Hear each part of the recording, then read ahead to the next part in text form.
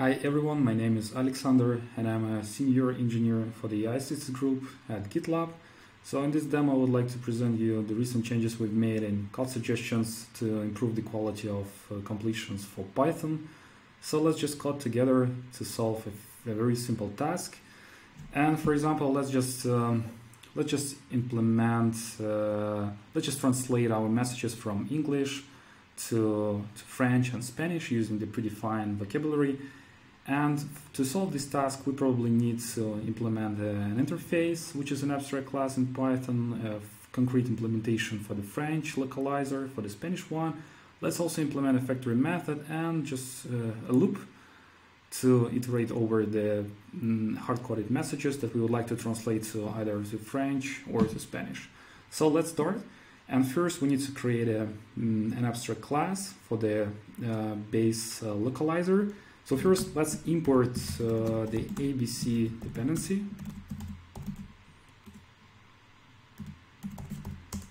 Dependency, right? So we can do like that. Yeah, here we are. So uh, we get our first line, which is correct. We also get some other completions and recommendations. So to create a uh, an abstract animal class. We don't need it, so let's just accept and let's clean uh, the, the rest of the completion. And also, yeah, let's just create um, an abstract, uh, let's just create an abstract uh, uh localizer. Yeah, here we are. So class localizer that inherits ABC with abstract methods. Uh, but yeah, let's just change this abstract method to accept message, uh, which is string, and also return let's return string as well, right? All good. So now let's just create, we need to create a French localizer. Let's, uh, just, we need just to type the, the signature of this uh, class, the class name, French localizer.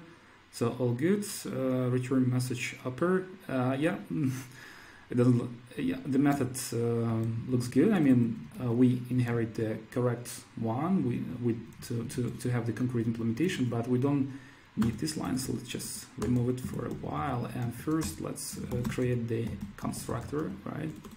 Init self.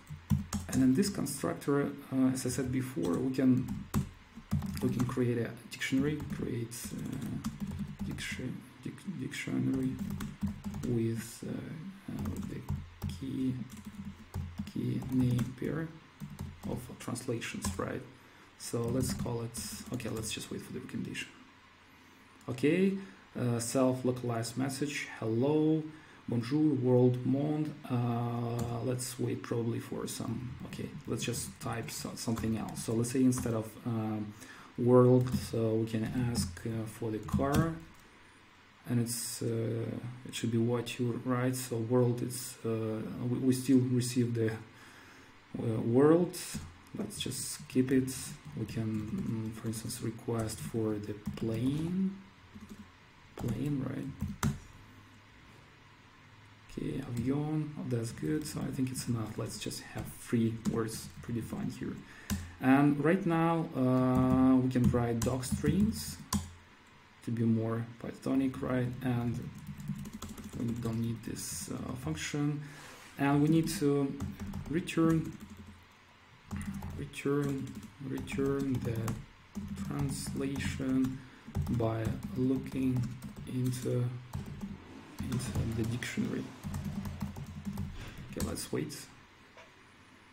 Okay now all good. So we return self uh, we just look into the dictionary which is self-localized for us.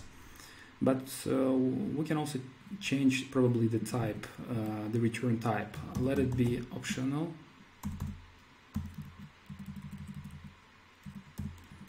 optional, right? And we need to apply the same uh, here in our concrete implementation. And in this case, let's just wait. Uh, probably it will change.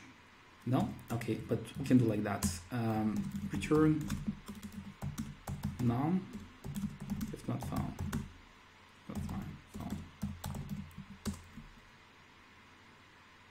Okay, all good here. So uh, by default we return none, and that's what we expected. Now uh, we need to have another uh, localizer. So let's uh, let's say that we need a Spanish localizer, right? Spanish localizer that also inherits the base one. Def init, correct. And now I think we'll get yeah, we'll get the same keys: hello, current plane, and their translations to Fran uh, sorry to Spanish. That looks correct to my understanding. And also we need another uh, another method. We need to implement localize the abstract method and let's just write uh, comment implement the abstract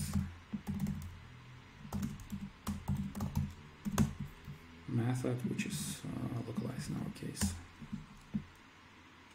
okay all good so we should mimic completely the same uh, logic as within the French one. Return none if not found. Yeah, all good here.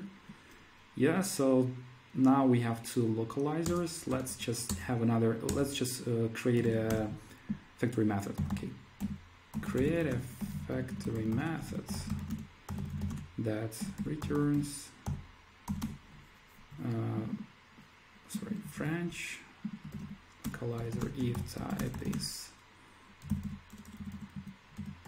French return return Spanish localizer if type is uh, Spanish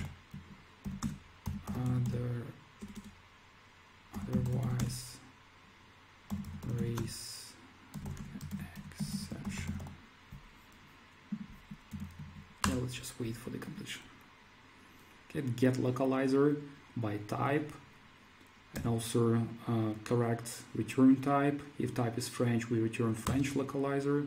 Let's just wait for the for another completion. If uh, else, if type is Spanish, so we return Spanish localizer, and we also raise exception. So that was we, what we expected with our request, right? And now uh, we probably maybe we can just create uh, lists with messages. Let's say that we would like to translate uh, plane. Oh, sorry. Plane car and let's say table right? Mm, and then let's uh, create a French and Spanish localizer